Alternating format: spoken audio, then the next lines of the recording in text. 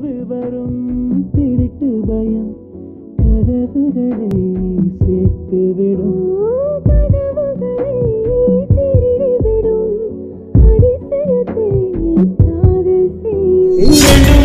கை கோர்த்து